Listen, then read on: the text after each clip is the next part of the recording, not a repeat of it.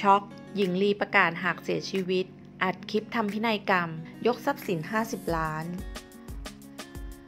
สุดช็อกหญิงลีประกาศหากเสียชีวิต อัดคลิปทำพินัยกรรม ยกทรัพย์สิน 50 ล้าน สร้างมูลนิธิเด็กกำพร้า สั่งเสียให้บุ๋มปนัดดา ช่วยจัดการธุรกรรมให้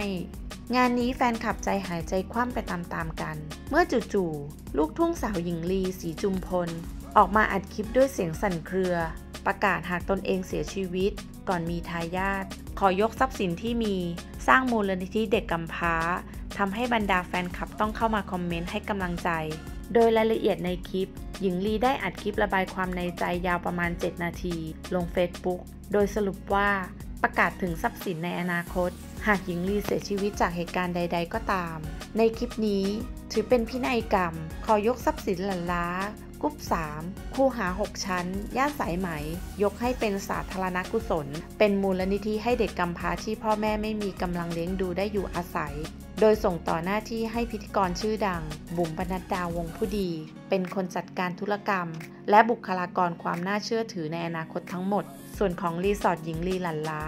มูลค่ากว่า 20 ล้านในจังหวัดบุรีรัมย์ให้ขายทอดตลาด เพื่อนำเงินเข้ามูลนิธิหญิงลันล้า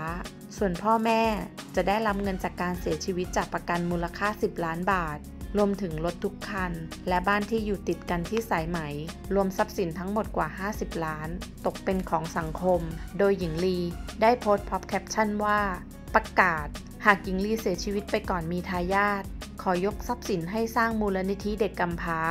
ที่บริษัทหลันล้ากรุ๊ปจำกัด เขตสายไหม และให้พ่อแม่ส่วนหนึ่ง ขอขอบคุณข้อมูลจากข่าวสด